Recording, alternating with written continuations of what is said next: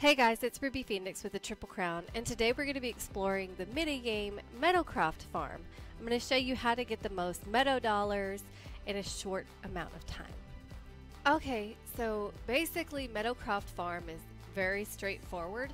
Uh, first of all, you're going to need some money. I'm assuming that you don't start with any money, so go into this little house. I think this is your house, and there's some coins laying on the ground. You only need 25 coins to start. And there's some over here by where you first come in. And there's some on the other, uh, to the left of the fields. You can you can see it over there. There's like a little pile of coins. And I believe these little pile of coins are about five coins a piece. And you only need 25, but I'm going to go ahead and get a few more just so that I can show you where they are. And that's basically where you're going to start. Like I said, this is not how to play the entire game. I'm not going to explore buying cows or fishing or anything like that. This is strictly how to get the most amount of points very quickly. Which, if you get bored with farming, you could buy a cow.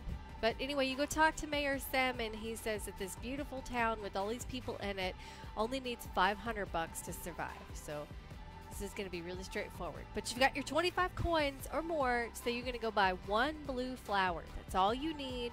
You don't need to go crazy with this one. And you're going to plant it plant this one blue flower. This one plant will give you three flowers.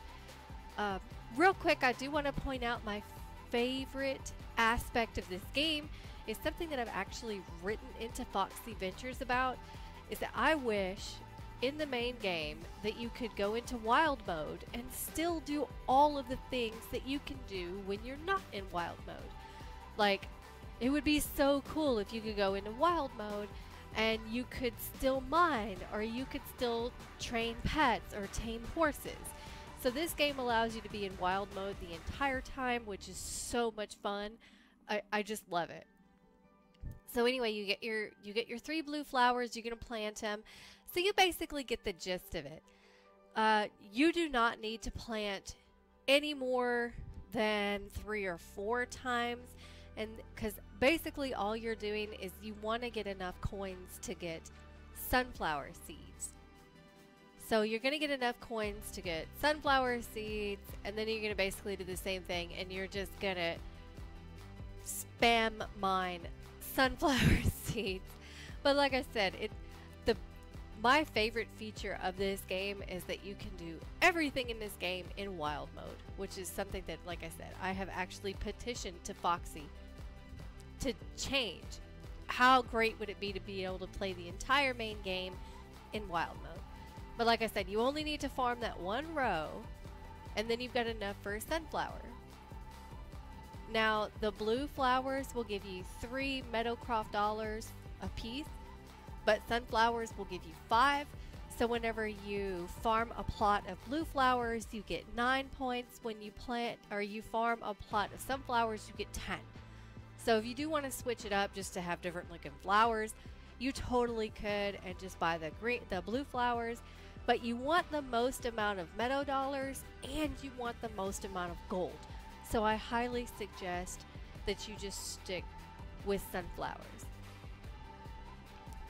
We're just playing at this point. I mean, I'm just waiting. So, one thing I am going to do right now is I'm going to speed it up because basically you get it. So you farm two sunflowers and you plant two sunflowers and you just keep doing that until your whole field is nothing but sunflowers. And then basically you're just going to kind of run around and keep picking them over and over and over again. So I'm going to pause this so that I can get a sip of tea and we're going to speed this up a little bit and I'm going to show you what you're going to do when you get a a considerable amount of sunflowers. And you will see this uh, this count, the meadow dollars, you will see it go up fairly quickly. Like I said, this is probably the fastest way to get Meadowcroft dollars. And you can accrue a lot of them very, very quickly. And as you can see from the way that this game is playing, this is completely different from Go Jump and Danger Maze. This is a much more relaxed, kind of game for those of us who like to mine or just do dressage all day, who don't really care about RPing or anything like that. for those of you who really do just kind of like to listen to music or watch YouTube or something like that and just play a game in the background, this is a game for you. And this week's horse is the Royal Frisian, which is just beautiful. Right now, I'm chest level 7. Fingers crossed. I'm really hoping to get the Royal Frisian. I'm super stoked that I got the Banshee Frisian. I think it's probably my second favorite horse. North will always be my favorite horse. But we're going to speed this up because you basically get it. I mean, just seeing what I'm doing. And you see already that I've got 154 points, 164 points when I started with less than 20,000. So it's going up fairly quickly, but this does take a while.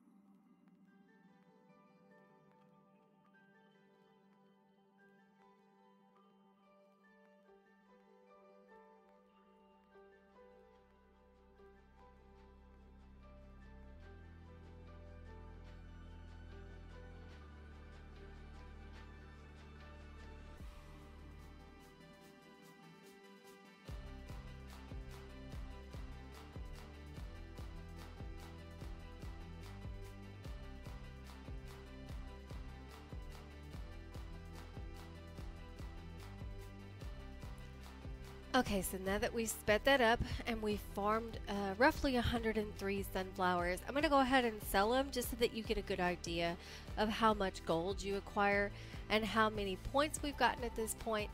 I believe it says that we have gotten little over a thousand, almost 1200 points since we first started farming.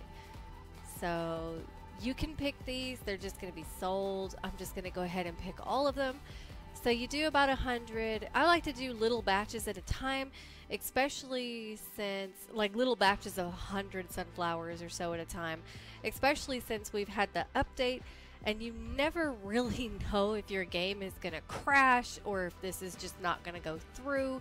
This last update is probably the worst update I've ever seen. I've been playing this game since it came out in roughly August or summer of 2019 I've been playing for a long time. I've gone through a lot of updates.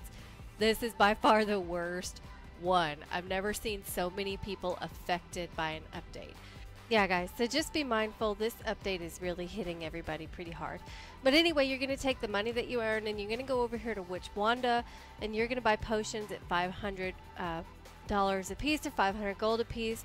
And each potion is going to give you 20 points a piece. And these potions are pretty cool. They're going to turn you different colors. They're going to speed you up. They're going to slow you down. They're going to make you big. They're going to make you small. So it's another fun thing to do in wild mode since it's pretty cool to ride a tiny little horse around. I don't know. I just think it's fun.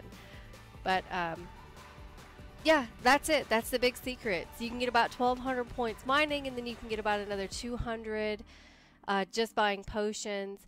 And that's just a little bit of a time. If you got 15 minutes or so extra during the day, you can easily get about 1500 to close to, I don't know, about 1600 points at the most before, you know. So if you got 15 extra minutes, I would say go ahead and throw them into Meadowcroft. Um, Meadowcroft Farms, it's worth it. I mean, the chest, Yes, a level 7 chest. The level 7 chest. Uh, not the level 7 chest, but the chest this week is for the Noble Frisian, which is just beautiful. But right now I'm just farming a few extra sunflowers. I'm going to go ahead and end the game and by uh, giving the mayor his 500 gold coins, you save the or you save the town.